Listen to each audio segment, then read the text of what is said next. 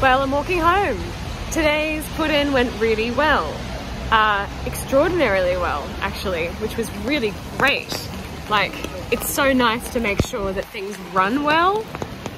It's raining, quite bucketing down, actually. So, sorry about the noise quality. It's going to be a bit terrible.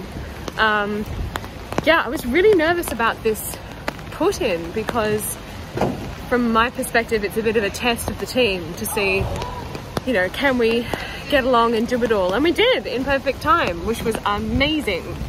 Um, and we discovered that there were a couple of things that need to be updated on the paperwork because it's still not right. Oh my goodness, the saga of paperwork created a while ago. And I think the problem is not that the paperwork isn't right, but because we didn't create it, it's not until you come to the floor that you go, oh, that's actually not quite right, or that's a bit confusing but it takes a while to get to those points because I mean the last time we ran a put-in Marie was just a powerhouse of knowledge. And honestly I don't think anyone even looked at the transition documents because it was all so smoothly run.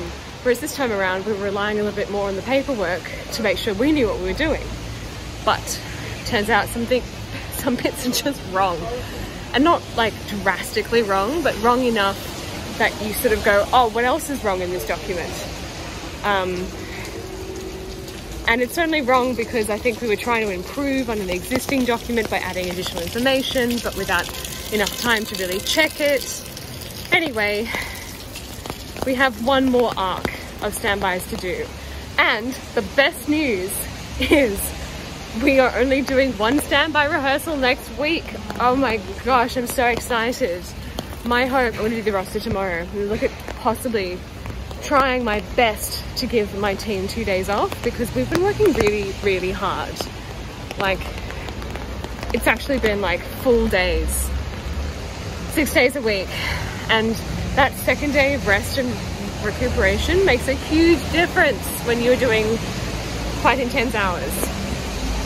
But yeah, I'm gonna put my arm down because I've got rain running down my arm, which is holding my iPhone. it's a bit of a funny sensation. Um, but I'm halfway home. Good day.